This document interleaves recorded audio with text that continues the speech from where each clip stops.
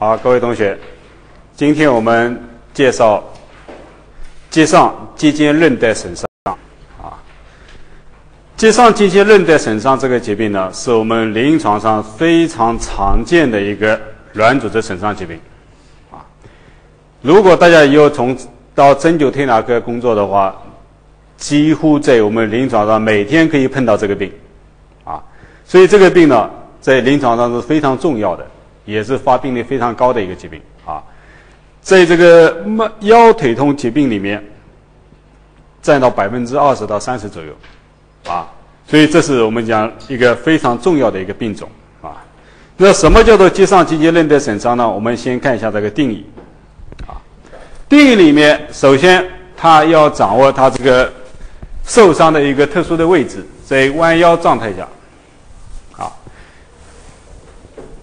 弯腰状态下，因为肩上肌腱韧带它是腰背部非常浅表的一层软组织，啊，也就是非常浅表的一个韧带，啊，肩上韧带它附着在棘突正中线，棘突跟棘突之间，啊，就是棘突的尖端，啊，覆盖在整个脊柱上，肌腱韧带它覆盖在什么？相邻的棘突之间，是吧？所以都是非常浅表的。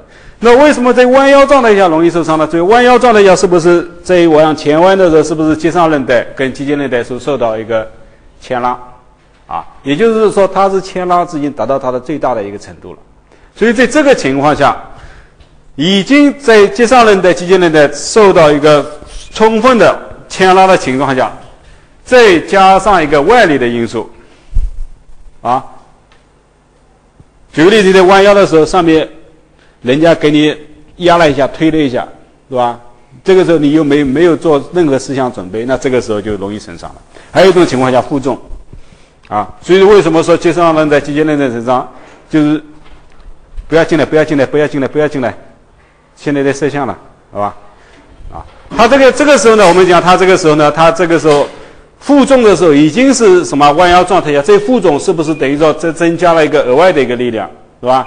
那这个额外的力量加上去以后，就是实际上就是加大了一个肌上韧带跟肌肌肌肌腱韧带受到牵拉的一个强度，啊，就像一个橡皮筋一样，它已经拉到最大的程度了，然后你再给它加一个力量，牵拉更加厉害了，是吧？大家试想一下，同样一个问举个例子，以橡皮筋为例，如果你把一个橡皮筋牵拉把它固定在这里，是吧？一根新的橡皮筋拿过来，把它牵拉状态下把它保持的位置。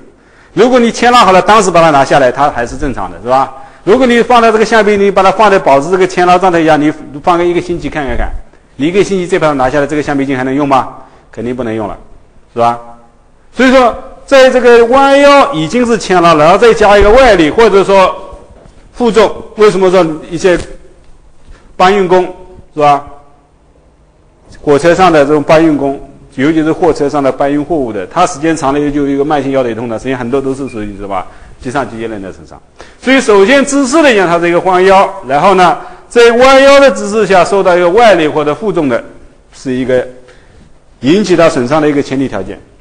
光有这两个条件还不行，为什么？有的人呢每天搬东东西，为什么张三受伤，李四没受伤呢？实际上，它还有一个前提条件，非常重要一个条件，什么呢？腰肌突然发失力。我问大家一个问题：在前屈位的时候，这个时候什么肌群下 维持这个人体能够维维持人体这个弯腰的姿势呢？是一个什么肌群啊？啊？对了，竖脊肌或者称为底肌肌，是吧？底肌肌是我们讲。维持人体姿势，包括人体弯腰姿势，一个非常强大的一个肌群。那这个腰肌的突然实力指的是哪一个肌群的突然实力呢？主要是底肌肌，是吧？非常强大的底肌肌。那什么情况下底肌肌会突然没有准备状态下，也就是没有进入这么一种非常稳定的、非常有准备的姿势。啊，我给大家举个例子，非损伤的，我碰到一个病例，就是在啊杭州的一个小学。他们上体育课，啊，结果呢，他们体育课的时候做一个游戏，老师呢叫前面一个同学，三个同学站在那里，然后弯腰，手扶着膝盖上，然后这样，然后后面一个同学冲过来，把手对他背上一按，然后把跳过去，相当于做一个跳马动作一样的一个游戏，啊，好了，结果有个男同学来了，他们轮流换的，结果有个同学来了，一个同学相对比较瘦的男男生，小学生是吧？他玩在那里还没准备好的，后面一个胖子冲上来了，啊，嘣一下在他背上，哎，他是跳过去了，结果这个下面这个坐马的这个男同学马上就倒在地上，很痛，啊，剧痛。实际上他这个姿势可能没准备好，准备好就没有这个事情。他可能姿势在手还没放好的时候，我刚弯下去，后面这个同学叭冲上来了，啊，背上背上一挨，好了，这个时候他还没有准备好的姿势下，就是肌上面的肌腱韧带已经处于一种最大的牵拉位置了。这个时候怎么样？腰肌底肌肌又没有跟上去，力量又没，就是它的支撑的力量还没到位，是吧？还没有处于一种非常强大的一种保护姿势，那这个时候怎么样？受伤，啊，所以这三个条件。在定义里面是个三个核心的词，一个是弯腰，第二个受到外力或者说负重，第三个条件腰肌撕裂，啊，腰肌撕裂，是吧？都会引起损伤，啊。再举一个例子，像举重运动员，什么情况下是会受伤的？举重运动员，举个例子，你杠铃抓起来，弯腰抓起来往上举，如果你发现举不上去，你放掉，那这个时候呢，我们讲是一般来讲是不会受伤的。啊，什么情况下会受伤呢？就是说，他举起来的一刹那，就是他这个重量远远超过了他能够举的重量，然后举起来的时候，突然发现力量不行，然后一下子丢掉，那这个时候是非常容易受伤。就是说，他次举的重量如果远远超过他能够举的重量，啊，那这个时候损伤是非常就是容易受伤。为什么？底肌肌这个时候就会突然失力，啊，底肌肌会突然失力，啊，所以这三个条件在这个。肌上肌腱韧带损伤里面是最重要的，弯腰受外力或者负重，腰肌突然失力，是吧？那掌握了这个定义以后，我们还要了解一下它这个接上韧带，包括肌腱韧带的一个结构上的特点，是吧？那肌腱韧带或者肌上韧带，它最主要的一个结构是什么呢？是胶原结缔组织，啊，胶原结缔组织。胶原结缔组织有什么特点呢？它是非常致密的。啊，非常柔韧，也就是可以用一句成语来说，叫百折不挠，非常坚韧，非常强大，啊，但是呢，它这个血供很差，啊，还有呢，就是什么呢？它呢，就是说没有弹性，啊，几乎没有弹性。那没有弹性的情况下，它如果它能够没有弹性，不是说它一点都不能受到牵拉，它可以受到轻度的牵拉。但是牵拉了以后怎么？因为它弹性比较差，所以他到牵拉到一定程度以后，在这个基础上，如果你再加一个外力，或者说它这个牵拉力量超过它本身能够承受的力量，这个时候就处于什么？容易撕裂，啊，撕裂。比较轻度的撕裂，它是什么？是胶胶原结缔组织的部分纤维断裂。严重的话会引起整个这个胶原基地组织的一个撕裂，是吧？第三个，我们要要介绍一下这个肌上肌腱韧带的它这个解剖生理。那解剖生理来讲，肌上韧带它是连接棘突的尖端之间的一条韧带，是吧？而肌腱韧韧带它是连接。相邻的棘突跟棘突之间的一个韧带，是吧？那具体的一个解剖位置的一些特点呢？我们看下面一张图。那这张图显示的就是一个接上韧带、肌腱韧带，包括跟周围的其他韧带的一种关系，是吧？啊，这个是一个腰椎的一个正中矢状位，啊，正中矢状位的话呢，这个是棘突，啊，椎管。这是椎体，是吧？椎间盘、水和纤维管，是吧？连接上下的棘突的尖端之间的韧带，棘上韧带，是吧？棘突跟棘突之间的，在这个部位上的肌间韧带，肌间韧带往前是什么韧带啊？黄韧带。啊黄韧带前面是椎管，椎管最前面是什么？后中韧带，啊，椎间盘前面前中韧带，是吧？对于肌上韧带，要掌握以下几个特点，啊，第一个特点，肌上韧带的起止点，啊，肌上韧带起于第七颈椎棘突，止于底正中节。啊，就是说从第七颈椎棘突开始到底骨，都有接上韧带的覆盖，这是一个起止点。第一个特点，第二个特点，结上韧带它不是说。所有的结上韧带都是全覆盖的。棘上韧带分为三层，啊，三层。第一层最浅表的，它是与皮下组织是相连的，它的覆盖范围基本上是从第七颈椎到第三腰椎棘突。就是从第七颈椎棘突开始到第三腰椎棘突之间是由第一层覆盖的，然后第从第三腰椎开始往下就没有了，啊，所以说我们从背部正中线皮肤上面摸上去能够摸到的最浅表的一个韧带就是棘上韧带，在正中线上，是吧？第二层。主要是连接相邻的第一到第二椎体之间、棘突之间的一个韧带，还有一层第三层，主要是连接相邻的棘突尖端之间的，啊，而且它跟这个棘突是连在一起的，从这个阶段的跨越性来讲，最浅表的一层一般是跨越三到四个棘突，一般是三个棘突左右，第二层。跨越两个接头，第三层一般来讲就是上下接头之间、接头尖端之间的一个能带。所以说，我们刚才讲的从第七颈椎到底正中节这一段，实际上是最最深层的一层棘上韧带，它是全覆盖的。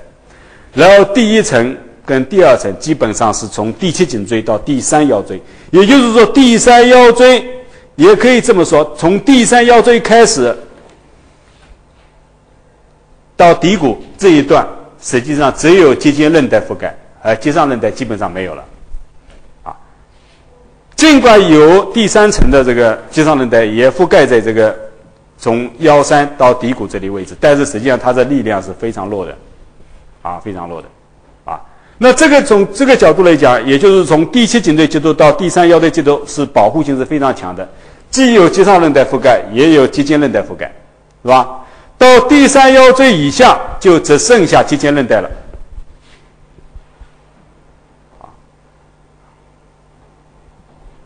所以说从颈切到腰三这段位置，如果出现肌上韧带、肌腱韧带损伤的话，大家想一想，首先受伤的应该是肌上韧带还是肌腱韧带啊？啊，对了，肌上韧带，啊，因为。当人在前屈位置的时候，棘上韧带跟棘上韧带哪个韧带受到的牵拉更大？当然是棘上韧带更大，最前边的更大，是吧？所以说，从第七颈椎棘突到第三腰椎棘突之间，如果有肌腱韧带损伤的话，那肯定肌上韧带已经损伤了，对不对啊？因为在前屈位的时候，时候棘上韧带是第一道防线。肌腱韧带是第二道防线，然后到了下腰椎，就是从第三腰椎以下，由于已经基本上没有肌上韧带覆盖，只剩下肌腱韧带了，所以损伤的话就直接伤到什么肌腱韧带。所以说有肌从颈切到胸腰三，肌腱韧带一般来讲呢，就是说如果有肌腱韧带损伤，肯定已经发生在肌上韧带损伤，也就是说在很多情况下。肌上韧带是第一道防线，肌肌腱韧带是第二道防线。但是肌上韧带损伤，有肌腱韧带是不是一定损伤啊？不一定的，就是有肌上韧带损伤，不一定有肌腱韧带损伤。但是如果有肌腱韧带损伤，从颈切到胸腰三的话，那肯定已经有什么肌上韧带损伤了。而从腰三到底这个位置，那基本上就是单纯的肌腱韧带损伤，是吧？所以这是我们讲起止点啊。要注意的，那肌腱韧带同样也分三层啊，也分三层结构，但是肌腱韧带它跟肌上韧带相比，强度来讲，它比这个肌上韧带稍微要弱一点，因为棘上韧带它是由非常致密的胶原结缔组织组组成的，而肌腱韧带相对来说有比较疏松的一个结缔组织组成，尽管里面也有少量这种弹性纤维在里面啊。因为从这个颈切到腰三，这个主要是通过接上韧带起到一种保护作用，是吧？肌腱韧带，那肌腱韧带这里面起到什么作用呢？肌腱韧带有以下几个作用。第一个，肌腱韧带它是跟肌上韧带共同组成一个腰椎前屈位的一个保护韧带，是吧？这是第一个作用，肌腱韧带。肌腱韧带的第二个作用是桥梁作用。啊什么叫做桥梁作用？大家看一下这个图片，肌腱韧带的后面是肌上韧带，是吧？两者是融合在一起的。肌腱韧带的前面是什么？黄韧带，是吧？所以说，肌腱韧带在位于肌上韧带和黄韧带之间，它就相当于一个桥梁一样，把肌上韧带。肌腱韧带和黄韧带连接成一个整体，组成一个非常强大的腰背部后侧韧带。啊，这是第二个作用，肌腱韧带桥梁作用。第三个作用，肌腱韧带还起到一个稳定椎体、防止椎体的前后滑移的作用。啊，前后滑移作用。大家看一下这张图谱。是吧？由于肌腱韧带位于这个相邻的这个肌突之间，啊，所以说如果你这个椎体如果要往前移动，容不容易啊？不容易。如果你要往前移动，肌腱韧带把你牵拉住了；如果你要往后移动也不行，它也把你牵拉住。因为机械韧带它是什么？它的机械位的排列是斜的纵向排列，啊，它像网一样的，以重心为主。这样的话，它对这个椎体的前后位置的移动，起到一个非常强大的一个限制跟保护作用，啊，所以这张图谱呢，我们主要是了解一个肌上韧带和肌腱韧带还有黄韧带的空间关系，啊，它的起止点，尤其是肌上韧带的起止点，要掌握它的特点，啊，特点。那这样的话，在临床上，我们讲，肌上韧带，绝大多数的肌上韧带都覆盖到腰三就为止了。说明从腰三这是点来讲，腰三这个点是一个什么点？是一个薄弱点。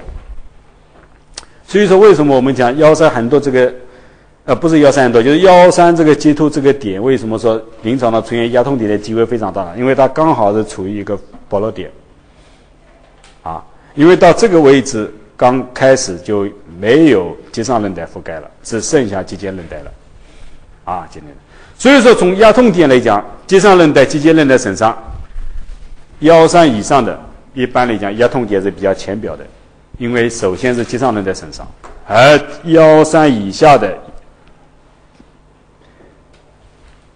脊柱正中线的压痛点，往往是深压痛。啊，也就是位于棘突跟棘突之间的一个深压痛。大家假如看一下，假如看一下，假如这是我个背部的一个棘突，这个高起的这个是棘突，是吧？然后呢，如果是腰上以上压痛点，往往是什么？一个如果是损伤比较轻的，只有这个棘突尖上有压痛，是吧？棘突跟棘突之间没有压痛的，啊。那如果说腰三以下有压痛，那就是不是说这个棘突尖上有压痛的，它棘突尖上基本上没有韧带了，在哪里压痛啊？在这个位置，也就在肌突跟肌突之间，肌上韧带的损伤，啊，所以说腰身以下的腰痛的位置呢，要出现的这一个深压痛位置，啊，那这个是一个它的解剖生理啊，临床上是非常重要的，啊，熟悉了它这个空间结构和解剖生理，我们再看一下它的病因病机，啊，那引起这个肌上肌腱韧带损伤的。病因病机来讲，主要是两个方面，一个急性损伤，急性损伤的最常见的一个就是多见于弯腰状态下搬运重物，啊，为什么？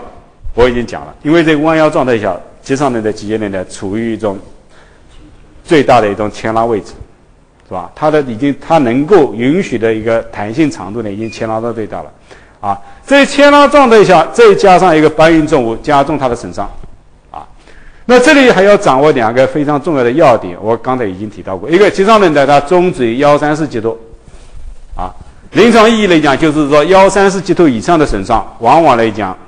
肌上韧带合并肌上韧肌腱韧带同时损伤，就是先损伤肌上韧带，然后再损伤肌腱韧带，啊，肌腱韧带损伤肯定伴有肌上韧带损伤，那幺四以下只有肌腱韧带损伤，所以说幺四以下的一个，如果是由于肌腱韧带损伤引起的疼痛，肯定是一个肌突间的一个升压痛，啊，肌筋损伤以外，我们讲还有一种损伤是慢性劳损。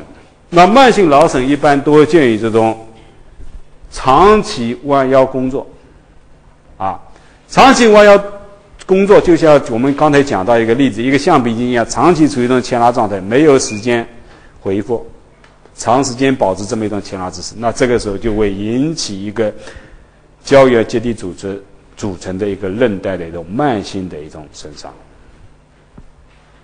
好，所以呢，引起这个。肌上肌腱韧带损伤的机理主要是两条啊，一种是跟这个弯腰搬运重物引起的急性损伤，还有一种呢，就是说一种长期弯腰工作。长期弯腰工作主要考虑到职业特点啊。长期弯腰工作，呢不要以为单纯理解为一种工人啊、农民啊这种，是吧？举个例子，一个人长期坐在办公室里的，实际上也是一种长期弯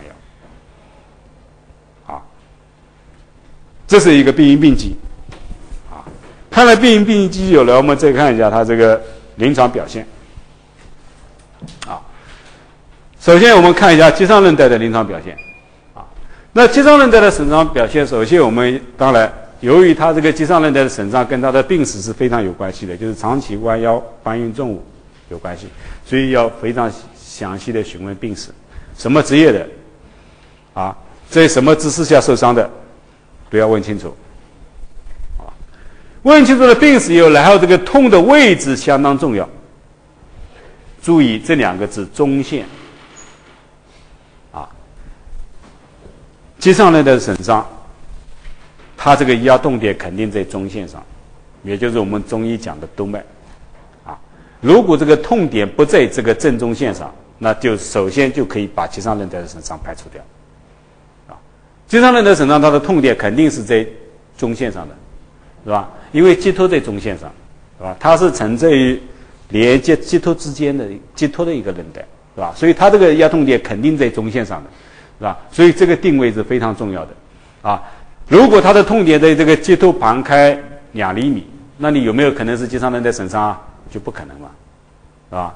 因为那个地方没有肌上韧带的，啊，而且它是个，我们刚才讲到了，肌上韧带就是最浅层好了。它的跨越的棘突一般来讲不超过三个，啊，一般来讲是，所以说它这个压痛点来讲，一般是固定在什么一到两个棘突，一到两个棘突什么概念？基本上两个厘米左右，啊，两个厘米左右，就它的疼痛范围是一条呈线状的，啊，像一条直线一样的，然后呢，一般来讲是在两个棘突左右的范围之内，啊，还有一个。我们要临床要注意触摸一个腰背部的肌张力，啊，由于肌上韧带损伤以后，那这个相对应的其他的一个肌群就处于一种肌张力增高的状态，那这个肌张力增高主要是一个代偿性的增高，弥补由于肌上韧带损伤以后腰背部的一个力量的不足，啊，所以处于对偿性的腰部肌张力增高。那这里要掌握一个特点，病人在描述症状的时候，往往会跟你这样讲，就是说，往往当他弯腰之后要站起来的一刹那，这个时候病人感觉到疼痛最厉害，或者说这个时候最困难。为什么？哪个同学能说一下？为什么说在弯腰要起来的一刹那，这个时候症状最重呢？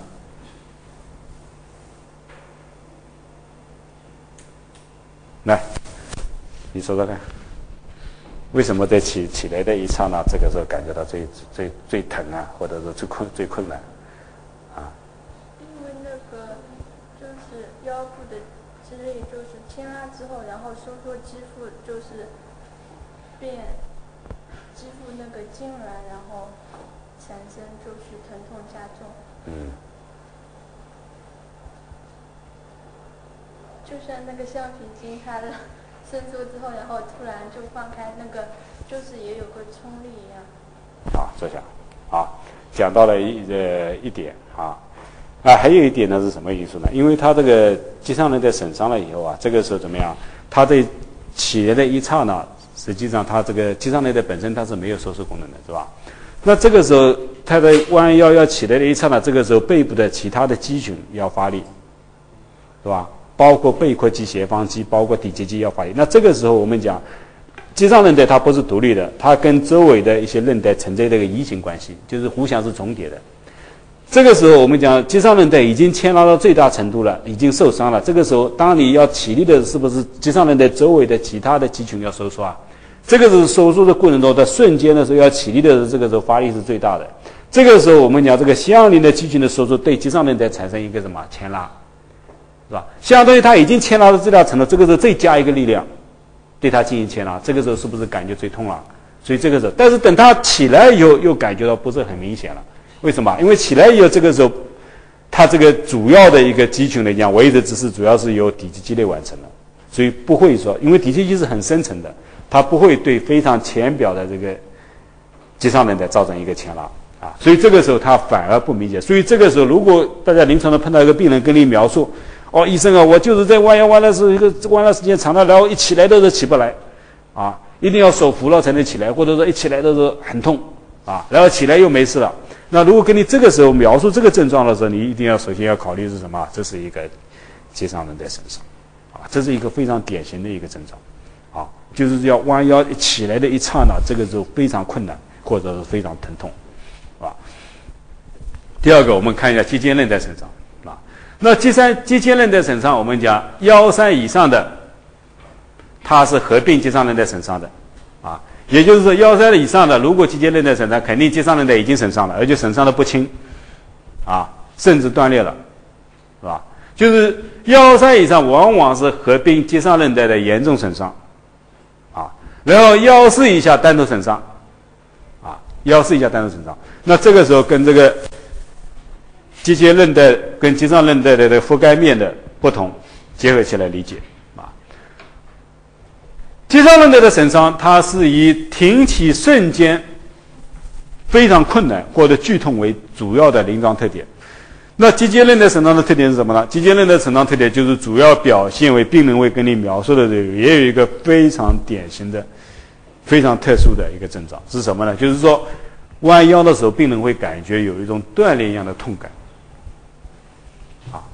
就是会病人跟你描述：“哎呀，医生啊，我弯腰了，转起来的时候，感觉腰跟断了一样。”，腰实际上有没有断了？实际上没断。什么东西断了呢？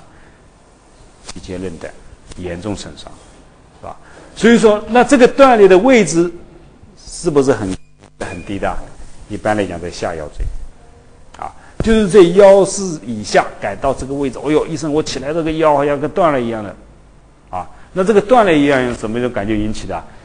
就是一个肌腱韧带损伤一节，所以这个症状是一个病人跟你描述这个腰部时候跟断裂一样的，啊，要想到是肌腱韧带损伤，啊，那底肌肌呢？这个时候我们讲处于一种什么？由于肌腱韧带我们讲损伤了以后，说明它肌上韧带跟肌腱肌上韧带跟肌腱韧带的保护作用都已经没有了，那这个时候怎么样？就必须要靠什么？底肌肌来完成一个人体的一个直立姿势，是吧？所以这个时候就底肌肌就处于一种痉挛状态。所谓痉挛就是强力收缩状态，是吧？因为它原来是肌上韧带跟肌腱韧带辅助肌底肌肌共同完成一个维持人体直立姿势的一种状态，啊，那第一道防线跟第二道防线都已经被突破了，没有了，那必须靠第三道防线，就是主要靠底肌肌自身来完成这个。维持人体直立姿势，包括维持人体弯腰姿势这个功能，所以这个时候就底肌肌就处于一种什么痉挛状态，啊，所以就可以这种体表上触摸上就会触摸到脊柱两侧的这个有一个痉挛的一个肌群，摸上去很硬，啊，所以这个就是临床表现，啊，我们再看一下这个检查治疗及注意事项。肌上肌腱韧带损伤，压痛点的寻找非常重要，啊，压痛点肯定在正中线上，这是它一个非常有特征性的特点，一定要牢牢记住，啊，如果你把这一点丢掉了，你这个肌上肌腱韧带就搞糊涂掉了，啊，它的压痛点是必须在正中线上，啊，因为其他地方没有肌上韧带跟肌腱韧带的。是吧？如果这个压痛点不落在正中线上，那这个首先就是第第一诊断就把肌腱韧带、肌上韧带损伤给排除掉了，是吧？还有一个条数状物的出现的位置，啊，如果说是肌上韧带损伤，它这个条数状物肯定是不是出现在这个肌头上啊？肯定是在触摸肌头的时候有条数状物，是吧？如果是肌腱韧带损伤了，那它这个条数状物出现在哪里啊？在肌突跟肌突之间，也就是肌突跟肌突之间的凹陷处，是吧？那如果说肌上韧带合并肌腱韧带损伤呢，两个同时损伤呢，那就是说肌肌突上有压痛，肌突跟肌突之间也有压痛，是吧？所以说在压痛点寻找的时候，如果是单纯的肌突上的一个压痛，那这个是应该是损伤最轻的，是吧？其次是什么？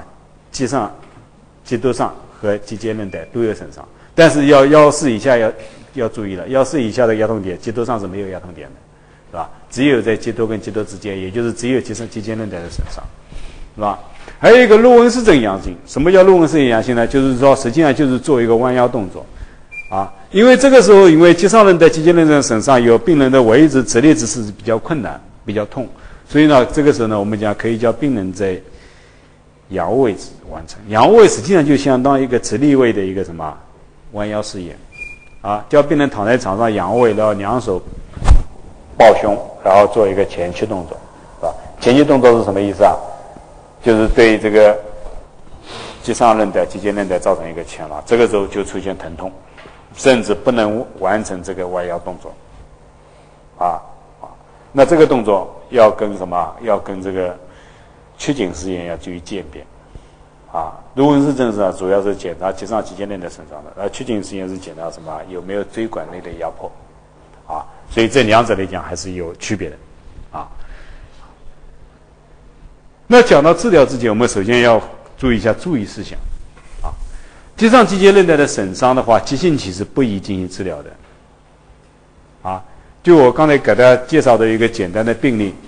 是吧？这个小学生在跳马的时候受伤，是吧？急性期不能治疗，啊，应该自动，啊，然后是冷敷，啊，然后等他急性期过了以后，啊，再进行治疗，啊，一般来讲，自动的时间要求是多少呢？一般是一到两周，啊，就是在治疗期间，我们讲也要。叫病人限制一个弯腰动作，啊，如果已经确认是肌上肌腱韧带损伤了，一定要什么？绝对禁止弯腰动作啊，因为弯腰动作是加重它一个肌上韧带跟肌腱韧带损伤，啊，还要注意什么呢？就是护腰，一般来讲要病人配合一个腰围，然后呢保暖，注意保暖。那注意保暖呢，我们也可以叫病人做做热敷啊，啊，也可以去泡泡温泉啊，啊，那这个是非常好的。啊，对他促进他这个肌上肌腱韧带的恢复啊是非常有帮助的。治疗来讲，主要是分成三步操作啊。第一步操作，在损伤的肌上韧带、肌腱韧带位置，以二楼法为主，进行一个局部的一个软组织松解手法治疗。那这个软组织松解手法治疗呢，主要的目的，我们讲主要是解除一个局部的一个炎症。因为肌上肌腱韧带损伤以后，它肯定有一个什么充血、水肿、淤血，是吧？肿胀，啊，慢性期以后，它还会跟周围的一些软组织产生一个粘连，啊，这步手法完成以后，往往病人会感到肌痉挛解除，疼痛减轻，炎症得到很好的吸收跟消散。这个时候呢，病人感觉到哎，疼痛减轻了很多，症状减轻改善非常明显。然后呢，再用手沿着脊柱从上往下触摸，触摸注意一个什么问题呢？有没有一个肌上韧带的一个偏移？相当于中医讲的筋出槽，肌上韧带它只是存在于正中线上，是吧？但有的时候它损伤的非常厉害的时候，因为肌上韧带跟周围的其他筋膜有个移行关系，就是相连的。其他筋膜收缩有可能把肌上韧带牵到边上去了，所以这个时候要通过一个手法把它拨正，啊，就是让它肌上韧带回到它正常的位置上，啊。然后第三步，插法。啊那这个接上肌腱韧带用插法的要注意一个什么事项呢？要注意要沿着这个接上韧带、肌腱韧带的这个走行方向进行插法。假如这个是一个背部，是吧？啊，寄托，是吧？那你插的时候呢，这个是不允许的。啊，不能采用横插法，横插法的话，我们讲可以进一步加剧这个肌上韧带或者肌腱韧带损伤，是吧？那插法的时候，应该是正确的操作的话，应该是沿着这个肌上韧带的一个，或者说肌腱韧带的走行方向，是吧？应该直插，啊，直插，那直插的话，我们讲可以用起到一个很好的梳理肌筋、解毒痉挛。同时，我们还可以起到一个尽快的促使这个肌上韧带和肌腱韧带恢复的这么一种作用，啊，所以呢，我们讲这个注意事注项注意事项跟这个治疗来讲，我们只要遵循这几个原则，啊，同时要注意保护，啊，叫病人要绝对的自重卧床休息，绝对禁止做弯腰动作。那这个呢，在临床上，如果你诊断明确，治疗措施得当，那这个治疗效果是非常理想的。啊，啊只要你治疗结束，我们讲肌上肌腱韧带损伤，临床上可以取得非常显著的疗效。好，我们关于肌上和肌腱韧带的损伤的这个疾病，我们就介绍这里。